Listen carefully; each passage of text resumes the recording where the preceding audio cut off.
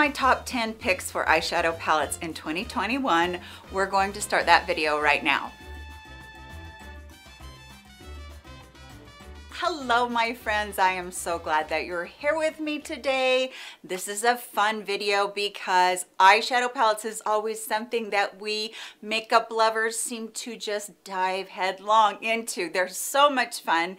And I wanted to make this a separate video, just like I'm gonna make the foundation a separate video. We are going to be swatching quite a few, so we better get into that video right now. All right, we're going to do this in a countdown style. So in at number 10 is from ColourPop and it is the Stone Cold Fox palette.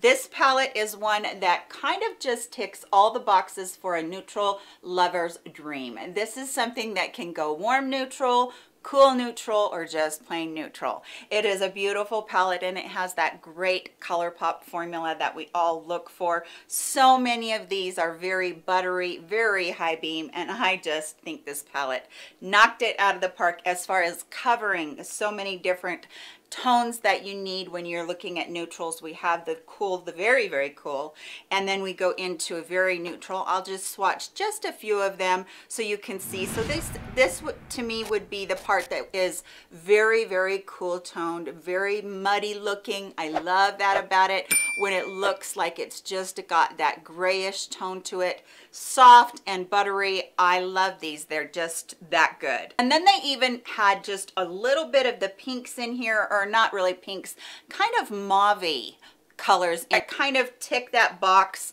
about them being more along the lines of the cool neutrals. So I love these neutral tones. They're just so pretty. There's the mauve tones that I was talking about. So beautiful. Definitely I'm going to have to raise my sleeve here. And then the next one would be more along the lines of just a basic neutral, which I think that they did very well in here too. I love ColourPop Shadow Formula. If you've never had a chance to try them before, they truly are just this gorgeous, buttery, formula that sticks around. They're very easy to blend. I just think that they're next level. And this palette was one that I just really gravitated towards and I wore it a ton this year. Another palette that I picked up this year that actually didn't have anything to do with coming out this year or anything like that, but I personally got it for the first time and it's the Persona Identity palette, the original. This palette just stole my heart because I loved the formula. Now there are quite a few warm tones in here and as you know, lots of times I don't wear warm tones. But I'm telling you that these worked for me and I could layer them together and make them look so pretty and I think that's what I love. The other thing is that I loved the shimmers in here. They're super buttery and super soft and even though I have a little bit of texture across my eyelids, they didn't make it look like texture at all and they are just stunners. The mattes in here are super duper silky and I just thought that they did a really great job on this palette all the way around. as you can see right there from just those swatches, what a gorgeous, beautiful rendering of colors for neutrals there are in here. And I really liked that those weren't chunky at all. None of the shimmers were chunky. They just left this beautiful swath of metallic across there. Some of them weren't as shimmery as others, which is really good when you have textured eyelids as well.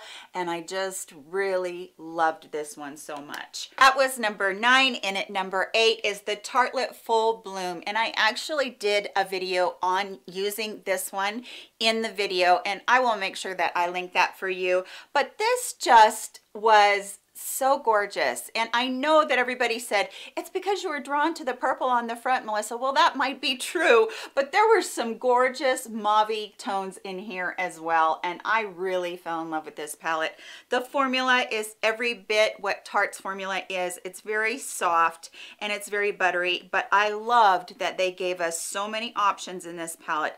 It reminds me very much almost of the Stone Cold, but you're not seeing those options as much because it's set in a gold background. So it might look a little bit extra warm to you, whereas there are warms in here, but it's pinks and mauves and cool tones. And I just fell in love with it completely. So here are the swatches for it. What I liked about this palette is that it truly wasn't too pigmented and you might think that that is weird but when you're light tone skin um, light to medium, sometimes the shadows that you wear can get so dark so quickly. And that was really a, a worry for me with these. But these just really are buildable, but they don't go on so stark in the beginning that you're gonna get your look looking too dark too fast. And so I really appreciated that one. And at number seven are the little palettes that came out from Essence. The one that I loved the most was the Taupe It Up, and then I really liked to Mauve It Mauve It one as well. I really liked to Mauve It Mauve It. it's Anyway, I just love that this was such a muted mauve toned palette. It has some of the prettiest colors in it, and I really fell in love with this. And it is one of those ones that Again, you don't have that stark in your face right off the bat look. You get these muted tones that you can build up, but you also don't have to have them st so stark. And these are just beautiful mauve tones. They're not like deep purple tones or anything like, like that. They're just cool mauve tones.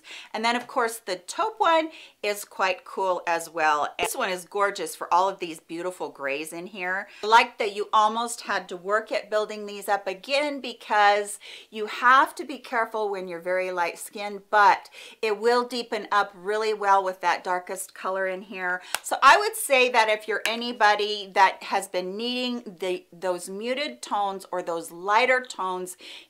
in your wardrobe for your eyeshadow. This is gorgeous and these palettes were really good. And at number six is the main stage palette from LA Girl Cosmetics. This one is the Desert Dream main stage and these colors are so vibrant and so beautiful and I wore this a lot in the summertime. However, I am taking a combination of these two colors right here on my eyelids today and then these two colors down here just to darken up a little bit on the outer part of the lid. The formula of LA Girl, if you haven't tried these yet, rich, buttery, gorgeous, beautiful formula. And I can't say enough about how buttery the mattes are. They're just extremely beautiful. But the stars are obviously the shimmers because they're so buttery and so beautiful that they do not show up texture.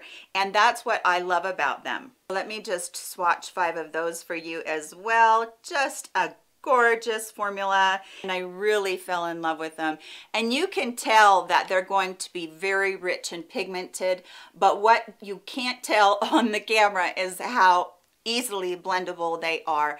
These are ones that stick around and especially if you use a really good eye primer. I use Anastasia Beverly Hills eye primer and it is one that just makes everything budge proof for me all day long. So if you're wondering how to make your shadows extra vibrant and how to have them stick around, Anastasia Beverly Hills is the ticket. So this is a beautiful palette that I absolutely loved. And at number five is the Violet Voss Cool Vibes palette. This one, I really feel like this is a really good mix of cool and neutral. And it does have this shade right in here, which really does carry off quite warm. I find that if you have one warm shade, one that you feel like you just can't work with because you feel like you're too cool tone if you put that in your transition and really super buff that out that's what I've done today on that. I used that palette this palette today. And this is what I used for the neutral colors on my eye and then this is what I used from LA Girl for the colorful part of my eye today. But it's just one of those palettes. Again Violet Voss's formula is so good. It's so buttery. It's so creamy. And I really have enjoyed working with it. It's been something that I hadn't tried before. And so using her formula was really fun for me. And again, we have a lot of lighter colors in here that we can work with, but if you're deeper, you're gonna have a great time with this palette because it has those deep, beautiful tones. Now, this is very much like the Natasha Denona Glam palette. That one does have more colors in it than this one does, but if you've been thinking about the Natasha Denona and you couldn't afford it, this might be a great option for you. And I just think that those are just some stunning, stunning colors. I was really drawn to a lot of neutral tone palettes this year. I didn't hardly have any in my eyeshadow collection at all. And then I just found that I was drawing more and more towards those because I wanted to try formulas, but also because I was kind of toning down what I was wearing. And even though I do love to wear a colorful look like this, when I want to reach for just something that is just neutrals, the browns, the grays, that kind of thing, it's going to be one of those palettes in the and that Violet Voss Cool Vibes ticks off all the boxes for me. I love that thing. At number four, this one, I don't know if it's still available. I am crossing my fingers and hoping that you guys can still get this because I love this palette. This is Smitten in Switzerland from BH Cosmetics. This is a fabulous palette everything about this palette I love. I love that it is so many different colors, but do you see how muted they are compared to some of the color palettes that you get today? So if you are somebody that likes doing a pink, you can do that. If you like doing a green, if you like doing blue, if you like silver, you have so many choices in here. But you also can go down the road of just neutrals. I've done that with this palette as well. This is a beautiful, almost a khaki gray gray and it it leans very very cool toned and I love that about it. This one right here you would think that that would be a very stark pink but let me show you what it is. It's not super dark. It's a very muted pink. And then you have the other tones in here that are just so pretty. I love the greens in here. The greens in here that khaki gray green right there I love wearing that one because it it really pulls cool tone. So this palette is another one that I love. I really like all of these ones that they named after cities and places because the formula in it was so good from BH Cosmetics. I had really, really fallen in love with the formula. So that is in at number four. Then in at number three, the Natasha Denona Retro Palette. This has been talked about so much and everybody knows that Natasha Denona has a great formula, but I really never got swept into even the one that I have that is her oh, what is it called? The Glam Palette with all the neutral tones and even the tones that lean cool. I liked that, but it wasn't like my favorite in the world. But this one, this one just has the potential to do so many things for me because I love to wear a pink eyeshadow. I love wearing it. I love burgundies and pinks and that kind of thing. But you absolutely have the um, neutral tones in here. And then you get these warmer tones in here which work. They even if you don't normally like warm tones they work really well for me. So this palette I debated back and forth. And when it came out I was like I'm not picking that up because I really didn't think that it was for me. I thought that it was going to be one that was just a little bit redundant for my collection but I'm so glad I did because the colors are just incredibly beautiful and I feel like this palette of many of her palettes that I had the chance to pick up this palette was one that I could just work with so easily and create different looks with and really have enjoyed it so very much. And that was one that, again,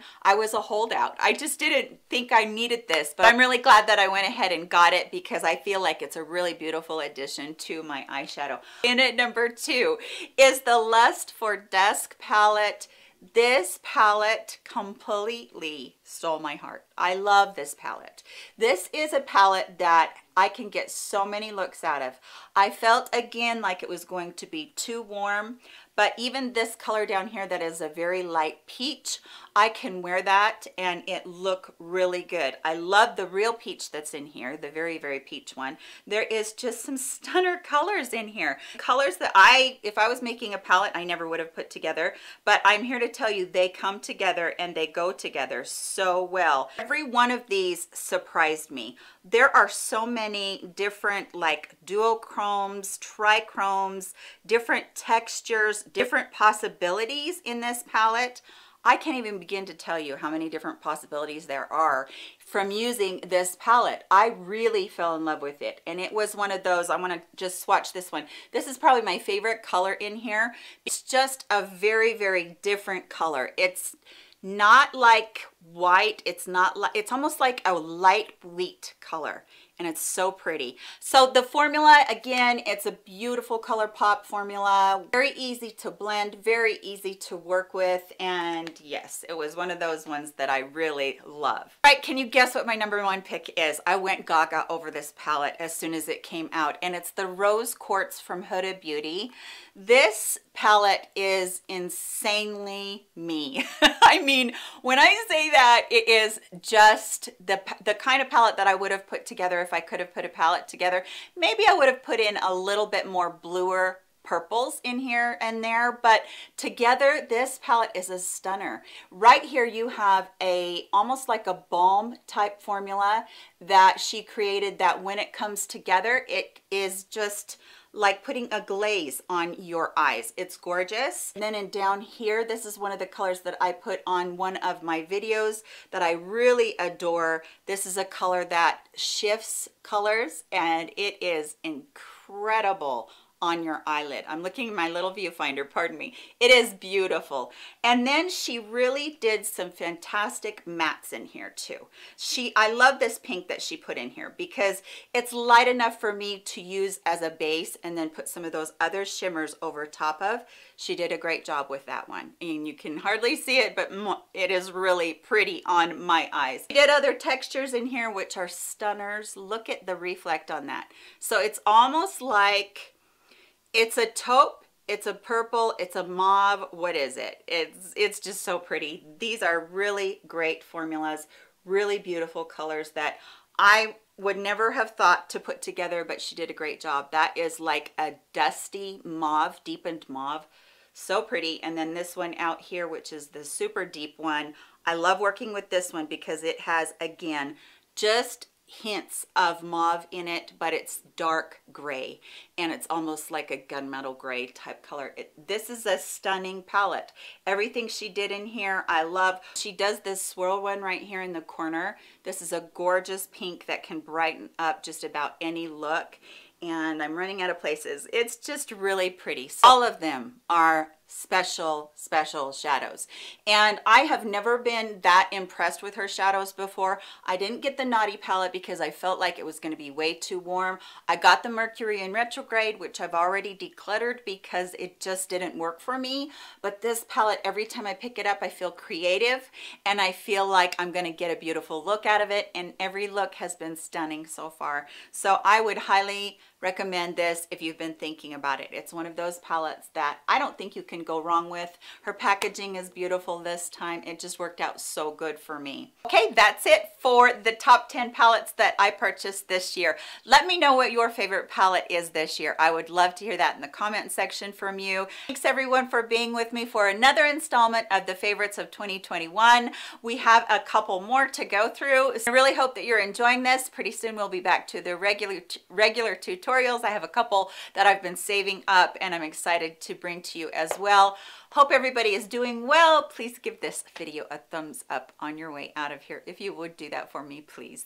I love you all so very much. I hope I get to see you back here again very soon at my next video. Goodbye, my friends.